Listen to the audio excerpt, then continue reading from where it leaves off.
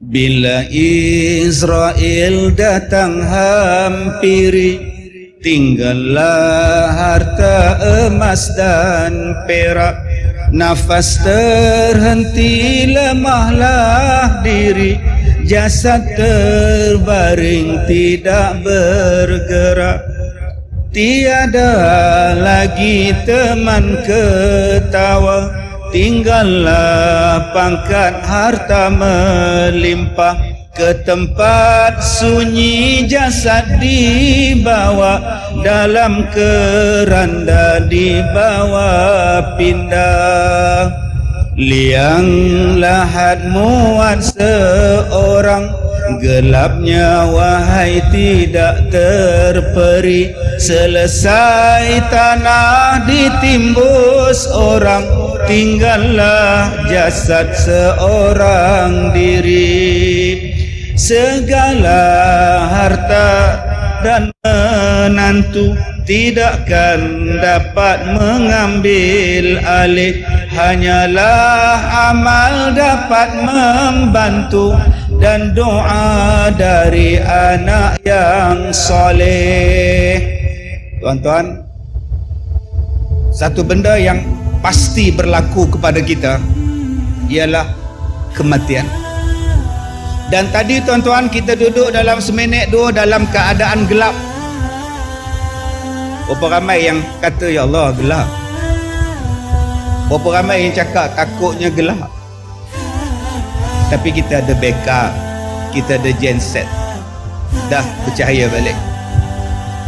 Tuan-tuan sekarang kita duduk 3 jam dalam dewan ni berpeluh sampai ke ketiak dah sampai ke paha dah sekarang. Tuan-tuan kalau agak-agak panas di luar sana tak panas.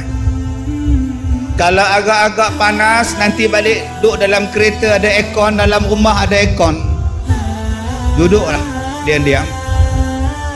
Tuan-tuan kita duduk bersila di sini tuan-tuan 3 jam 4 jam dah bersila. Nak lunjuk kaki tak boleh nak tidur tak boleh tak apa lagi 10 minit habis. Nanti balik ke rumah berguling-guling pun boleh. Daripada dapur sampai ke ruang tamu. Tapi tuan-tuan ingat dalam kubur gelapnya tak ada lampu. Sekarang ada lampu. Dalam kubur tak ada lampu kak liang lahat muat seorang. Seorang je muat. Sempit.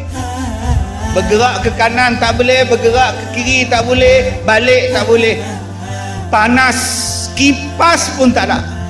Apa pun tak ada yang ada hanyalah ular kala jengking sempitnya kubur yang dipenuhi dengan ulat. Siapa boleh bantu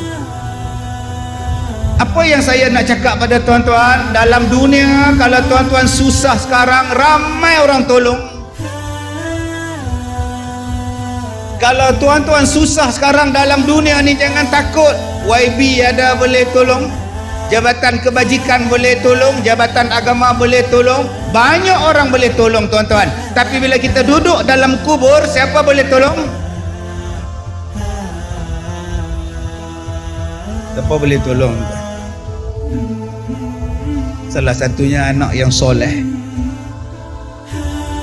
Anak yang soleh sebab tu tuan-tuan kita ada keluarga kita ada anak. Jom kita didik anak kita jadi anak soleh. Tuan-tuan duduk dah 3 jam di sini. Kalau mak bapak tuan-tuan berada dalam kubur sekarang 3 jam mak bapak kita dapat nikmat balik nanti kita semayang balik nanti kita baca Quran sebelum tidur. Mak bapak kita dalam kubur dapat nikmat. Besok kita bangun semayang subuh Mak bapak kita dapat nikmat begitulah Dengan anak yang soleh. Adik-adik Jadi orang baik. Dengan sebab adik apa Quran Dengan sebab adik baca Quran Mak bapak dalam kubur Mak bapak yang masih hidup Dapat nikmat. Ini harta yang paling besar Anak kita Sebab itu akak-akak abang-abang Jaga anak elok-elok Didik anak elok-elok. Waktu orang lain tak boleh bantu kita Waktu orang lain tak boleh tengok kita. Doa daripada anak yang soleh sampai kepada kita.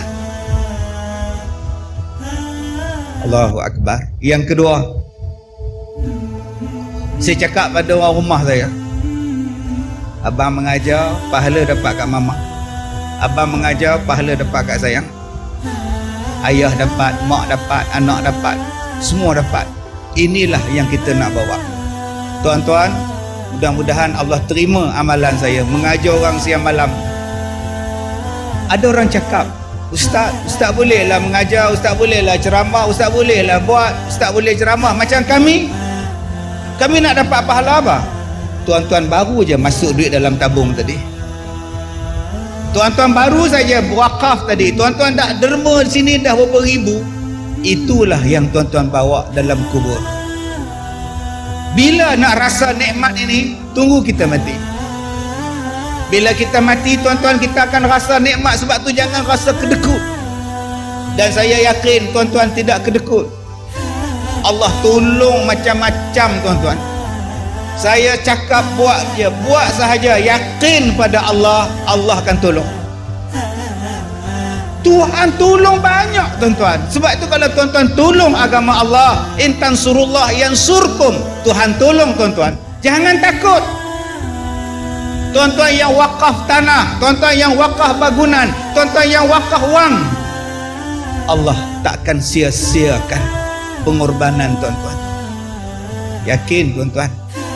Allahu